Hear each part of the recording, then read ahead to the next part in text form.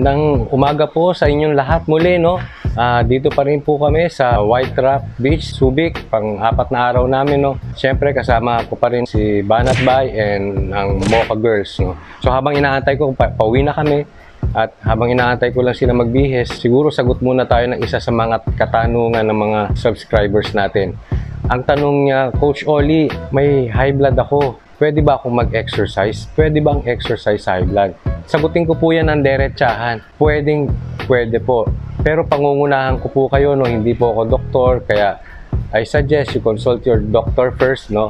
But sa akin pong experience, no, lalo na yung mga nagtatanong, Coach Oli, may edad na ako, pwede pa ba akong mag-exercise, may high blood ako, no? In my case, no, ah, lahi po kami ng high blood both sides po sa amin eh, may high blood. Family ng father ko and family ng mother ko may high blood. So kami rin. Actually ako, medyo mataas ang blood pressure ko before. So nga nag-adapt ako, meron akong diet. Unti-unti ituturo ko sa inyo anong ginawa ko, no? Pati na rin po yung sa blood sugar. So far, ang ganda po yung yung blood sugar ko pang bata. Yung blood pressure ko is back to normal. Wala po akong tinitake na medicine. Again, hindi po ako doktor.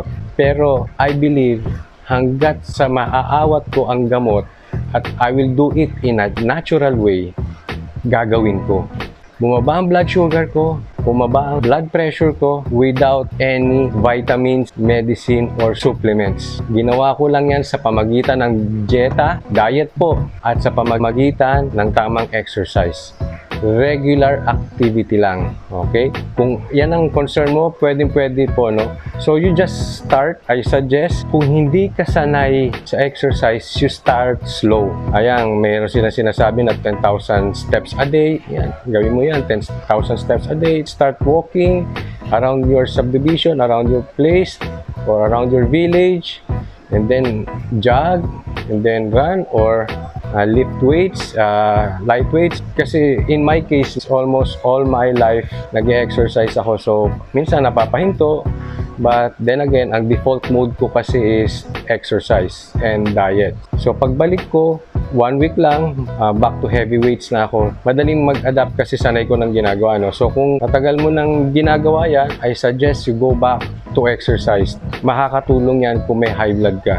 Ngayon naman, kung baguhan ka pa lang, start slow and then build your resistance, build your strength, and then makikita mo lahat-lahat yan, masusolusyonan. I suggest pa rin, I heavily suggest, we rely on diet pagdating sa pagbaba ng blood pressure at kahit na rin sa blood sugar. But kung tatanungin nyo, no, kung makakatulong po ba talaga sa high blood ang exercise, yes, malaki ang naitutulong nito.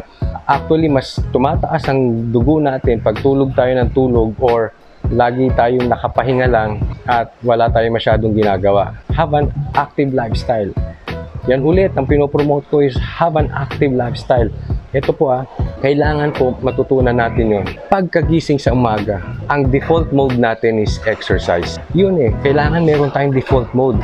Kung if you're not a morning person, pagka uwi mo sa bahay, galing work, If you're a night person, exercise. But don't exercise 4 to 6 hours before you sleep kasi baka mahirapan ka matulog. Especially kung baguhan ka pa lang sa pag-exercise. But in my case, sa awa ng Diyos, kahit dumaan ako sa problema, I mean, lahat naman ng tao, no? hindi mo naman sasabihin na meron bang taong walang problema. No? But in my case, kahit dumaan ako sa problema, hindi ko naging problema ang tulog. Kasi marami eh dyan, nagkakaproblema sa tulog pagka nagkaproblema. No? In my case, hindi po because of exercise. Kasi yung exercise will really help you sleep.